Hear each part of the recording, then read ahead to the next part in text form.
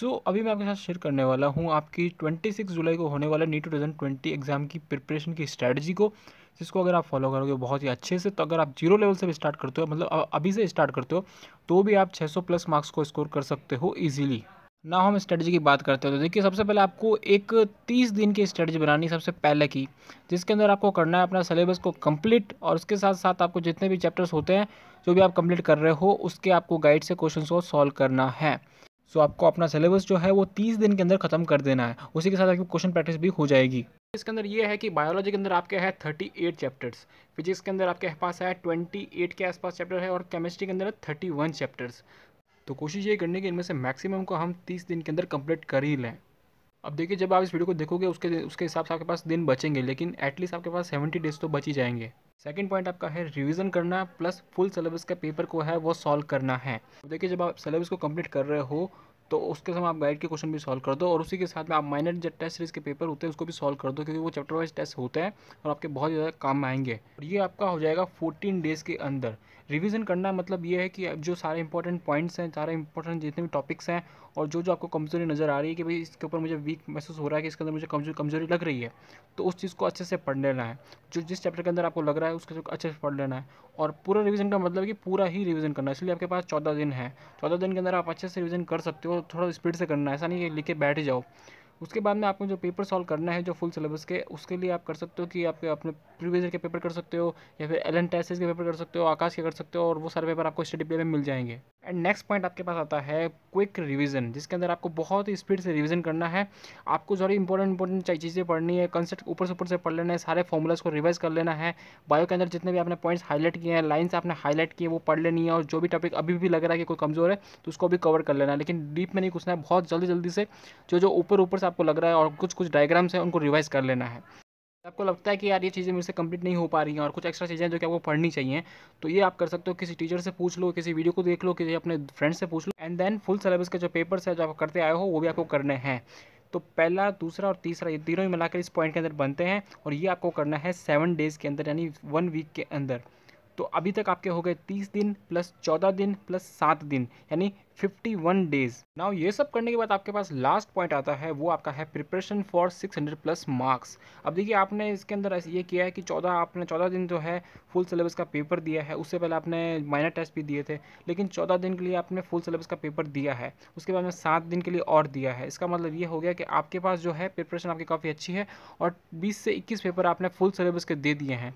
लेकिन अभी भी आपके मार्क्स जो है चार सौ से साढ़े पाँच सौ के बीच में आ रहे होंगे आपके कोई भी कैटेगरी हो सकती है, साढ़े तीन सौ भी आ सकते हैं। तो अभी जो आपने सारी चीज़ें कर ली, सारी रिवीजन कर लिए, सारे अपने डाउट्स क्लियर कर लिए, सारे जो पेपर सॉल्व करने थे, क्वेश्चन प्रैक्टिस करनी थी, सारा कुछ कर लिया।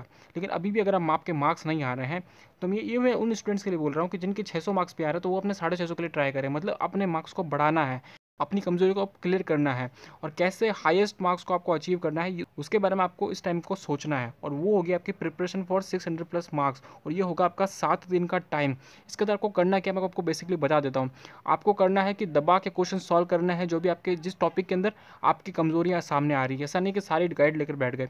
मान लीजिए कि आपको इंटीग्रेशन के क्वेश्चन नहीं सॉल्व हो पा रहे इंटीग्रेशन का आपका नहीं सॉल्व हो पा रहा तो उसके ऊपर आप क्वेश्चन कर लीजिए। मान लीजिए कि आपको ग्रेविटेशन के अंदर कोई प्रॉब्लम आ रही है तो उसके ऊपर आप क्वेश्चन सॉल्व कर लीजिए। मान लीजिए कोई रिएक्शन मैकेनिज्म के अंदर कोई प्रॉब्लम आ रही है तो उसको सॉल्व कीजिए, उसके बाद में उसके ऊपर चार से पाँच क्वेश्चन कर लीजिए या फिर और भी क्वेश्चन हो सकते तो आप कर लीजिए। मान लीजिए कि आपको आई समझ में नहीं आ रहा, इतना कुछ करने के बाद भी तो आई को फिर से समझिए, उसके ऊपर आप सौ, डेढ़ क्वेश्चन कर लीजिए, ताकि सारा आपका डाउट क्लियर हो जाएगा और जो चीज़ आपसे नहीं हो पा रही थी और जो चीज़ आपको सिक्स प्लस मार्क्स को लाने से रोक रही थी, वो आपसे क्लियर हो पाएगा। और सबसे इंपॉर्टेंट बात, आप सोचोगे कि सात दिन किस लिए, ये ये सब तो आपको करना ही है, लेकिन इन सात दिनों के अंदर आपको क्विक रिविजन आकर चाहते हो तो फिर से कर सकते हो। सकते हो लेकिन सबसे इंपॉर्टेंट बात यह है कि आपने जो 21 या फिर 20 जो 20 से इक्कीस टेस्ट दिए हैं और जो भी माइनर टेस्ट दिए हैं, उन सबको आपको देखिए, जब आप टेस्ट देते हो तो आपको घर पर बैठकर तीन घंटे के अंदर देना है टाइम को लगा करके और वो भी आपको, जब आप आंसर्स को फिल करते हो तो आप कोई कॉपी के अंदर कर सकते हो या किसी वाइट पेपर के ऊपर कर सकते हो। जिससे होगा ये कि बाद में आपको जब एनालिसिस करोगे तो आपका बहुत ज़्यादा इंपॉर्टेंट होगा। किसी भी पेपर को दो, जब आप घर पर बैठ कर ऐसे टेस्ट उसको दो। अब आपको ये चीज़ का चेक करनी है कि यार किस वजह से मेरा जो मार्क्स हैं, वो कम आ रहे हैं। क्या मैं एक परफेक्ट टाइम के अंदर क्वेश्चन सॉल्व नहीं कर पा रहा हूँ, क्योंकि मान लीजिए हो सकता है कि आपके क्वेश्चन बहुत सारे छूट रहे हों, तीन घंटा पूरे हो चुके हों, या ये हो सकता है कि आप बहुत सारी सिली मिस्टेक्स कर रहे हो, या फिर ऐसा हो सकता है कि आप क्वेश्चन को ढंग से नहीं पढ़ पा रहे हो, या फिर ऐसा हो सकता है कि आप चीज़ों को भूल जा रहे हो। आपकी जो जितनी भी गलतियाँ उसका एनालिसिस करना मतलब जितने भी आपके टेस्ट हुए हैं, अभी आपने खुद ने दिए हैं, बैठ के उनका सारा एनालिसिस करना है, और अपनी जो मेन प्रॉब्लम है, उस तक पहुँचना है। इसके लिए आपको एक सप्ताह का, एक वीक का, सात दिन का टाइम लगेगा, क्योंकि ये बहुत ज़रूरी है आपको सिक्स हंड्रेड प्लस मार्क्स तक पहुँचने के लिए। सारी कुछ चीज़ें करने के लिए उसके बाद में भी आपको पेपर को कैसे अटैम्प्ट करना है पेपर को कैसे सॉल्व करना है और नेचर क्या होना चाहिए अपने आपका और आप, आपकी perfect strategy personal strategy paper के लिए क्या होनी चाहिए वो भी इंपॉर्टेंट है। तो इसके लिए सात दिन बहुत ज़्यादा इंपॉर्टेंट होते हैं। अब देखिए फिफ्टी वन डेज़ पहले हो गए, अब ये सात दिन हो गए फाइनल आपके पास। तो ये हो गया आपका फिफ्टी एट डेज़ का प्लान अब फिफ्टी एट डेज़ के अंदर आप जो है पूरी तरह से रेडी हो अगर फिफ्टी नाइन्थ डेज़ के ऊपर अगर आपका नीट एग्ज़ाम ले लिया जाए तो आप सिक्स हंड्रेड प्लस मार्क्स को लेके आ सकते हो, अगर आप ये सारा इंप्लीमेंट कर दो। देखिए आपके पास तो सत्तर से भी ज़्यादा दिन हैं। तो आप सोचोगे कि 58 डेज़ के अंदर तो अब मैं रेडी हो चुका हूँ। अब बाकी के दिन में क्या करना है? देखिए, सबसे इंपॉर्टेंट चीज़ होती है कि आपके पास रिज़र्व कितना है।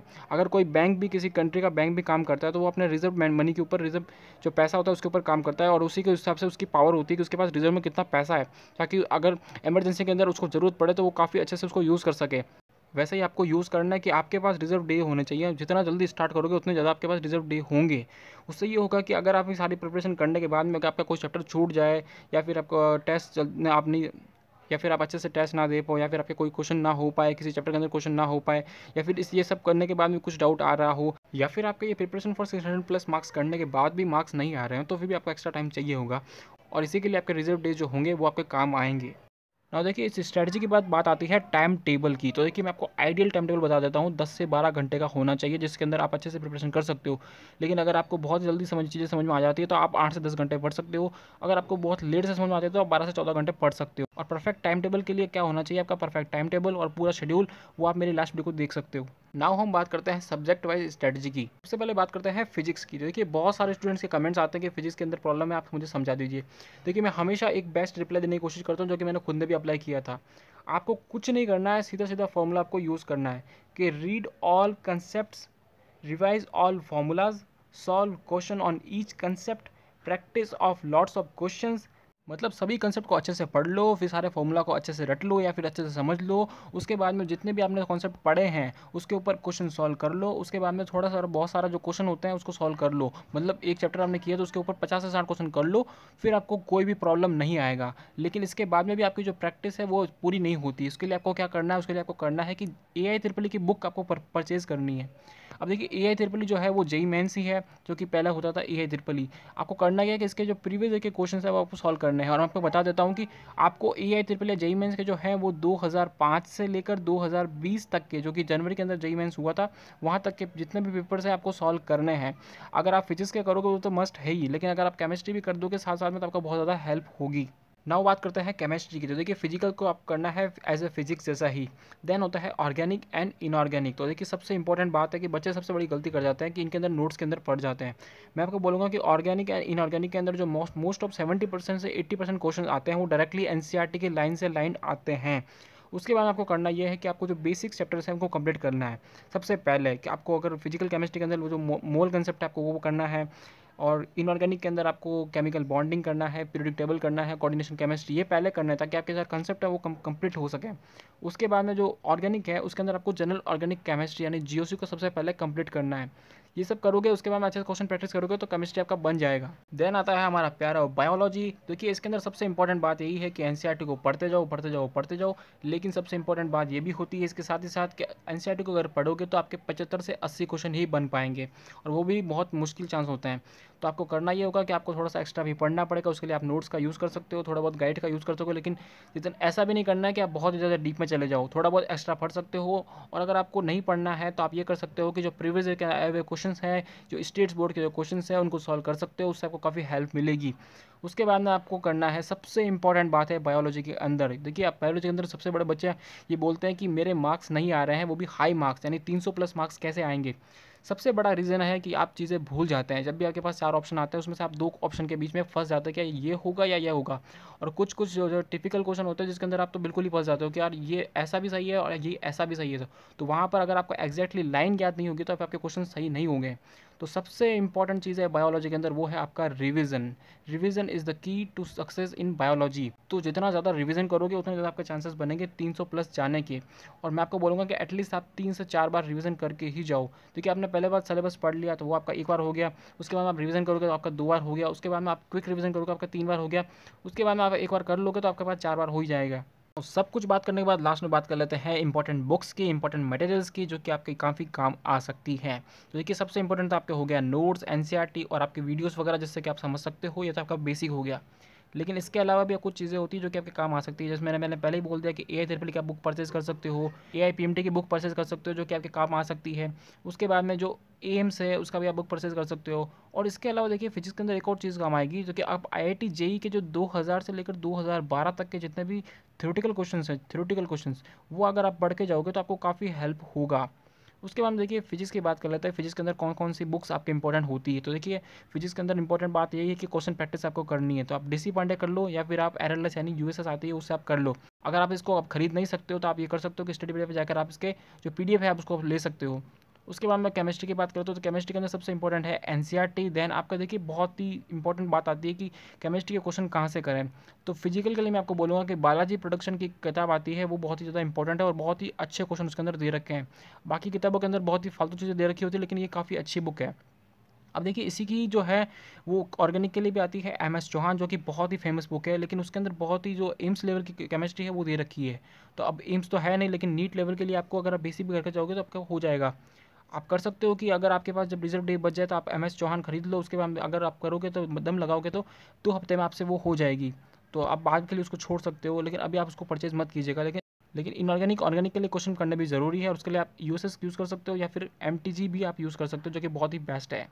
उसके बाद में बात करते हैं बायोलॉजी की तो एन e तो बेस्ट होगी कई बुक लेकिन जो क्वेश्चन सॉल्व करना है उसके लिए आपको मैं दो बुक सजेस्ट करूँगा। वो मेरी फेवरेट है, वो है डॉक्टर अली और जो लोगों की फेवरेट है, वो है एमटीजी आपको मालूम है।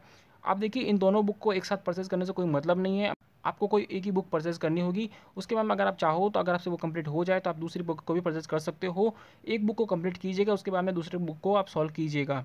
आपको बता देता हूँ कि एम के अंदर आपको क्वेश्चन कम मिलेंगे, लेकिन डॉक्टर अली के पास आपको क्वेश्चन बहुत ज़्यादा मिलेंगे। इसके अलावा आपके मटेरियल में होगा आपके माइनर टेस्ट सीरीज़ के पेपर और मेजर टेस्ट सीरीज़ के पेपर जो कि आपको स्टडी मीडिया की जो वेबसाइट है, वो ब्लॉग है, उसके ऊपर आपको मिल जाएँगे। आप जस्ट जाके गूगल पर सर्च कर दीजिए स्टडी पीडिया फिर आप उसके अंदर चले जाइए, फिर आपको सारा जो मटेरियल है, आपका नीट का और जो पेपर्स वगैरह है, आपको सारे कुछ मिल जाएगा। सो आई होप कि ये स्ट्रेटजी आपको पसंद आई होगी। थोड़ा यूनिक भी हो सकता है, थोड़ा अलग भी हो सकता है, लेकिन अगर आप इसको अच्छे से इंप्लीमेंट करोगे तो आपको सक्सेस ज़रूर मिलेगी। ऊपर वाला आपका साथ ज़रूर देगा, लेकिन आपको हार्डवर्क करने की ज़रूरत है। सारी चीज़ों को भुलाना पड़ेगा, लेकिन एक टिक कर पढ़ाई करना पड़ेगा, तभी आपके सपने जो हैं वो पूरे हो पाएँगे। तो thanks for watching this video अगर आपको वीडियो अच्छा लगा हो तो प्लीज़ वीडियो को लाइक कीजिएगा, अपने फ्रेंड्स के साथ शेयर कीजिए, और चैनल को अभी तक सब्सक्राइब ना किया हो तो सब्सक्राइब भी कीजिएगा।